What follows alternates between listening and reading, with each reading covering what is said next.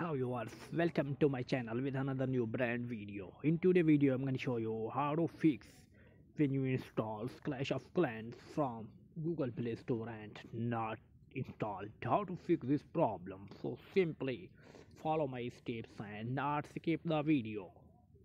First of all and first method you need check your internet connection. If your internet connection is weak so simply you need for few seconds now turn it on your aeroplane mode. After 20 or 30 seconds now turn it off.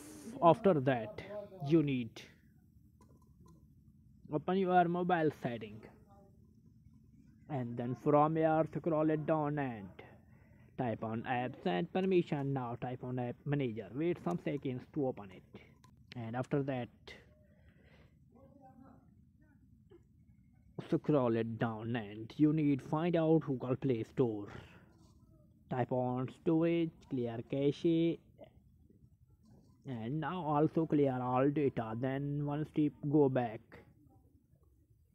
open Google Play services and now enter to storage clear cache and now also clear all data. And after that go back to the home screen and restart your device. After one or two minutes now you need to turn it on. And once again try to open your play store. And once again search your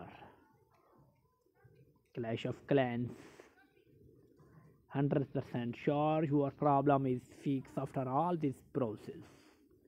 If this video is helpful, please like the video and if you are anyone problem, tell me in the comments box. Thanks for watching.